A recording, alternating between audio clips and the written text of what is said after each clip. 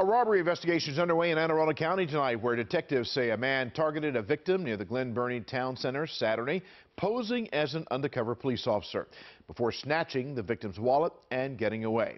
WJZ is live, new at 11. Christina Mendez is at the County Police Department for us and shows us what you can do to verify whether an officer you encounter is the real deal. Christina.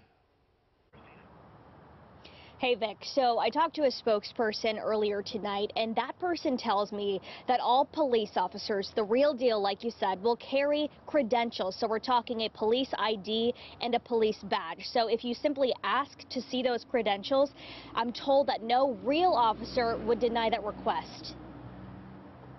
A man sitting inside a car on Crain Highway North near the Glen Burnie Town Center became the target of a person posing as an undercover police officer. You just have to be careful and just never assume that the person stopping you is a police officer. Anne Arundel County Police Department says this impersonator ploy was part of a robbery scheme early Saturday morning. The suspect is accused of asking the victim for his license. While following the demand, the victim grabbed his wallet. Police say the suspect took that opportunity to snatch it and take off.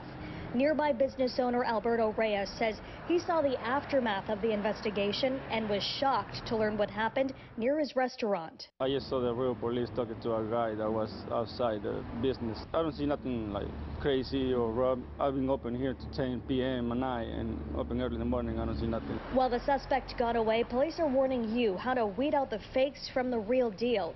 A spokesperson for the department says all officers must carry credentials, which include a police ID and badge. If you ask to see those, a real officer would not deny your request. Glen Burnie resident Ray Mungrove says he goes a step further to ensure his safety. I always ask for a supervisor whenever, whenever I stop, just in case. But I, I mean, I've, I've heard it before. It happens. All right, so if you know anything about what happened there, please give Anne Arundel County Police a call. I'm reporting live from Anne Arundel County. I'm Christina Mendez for WJZ.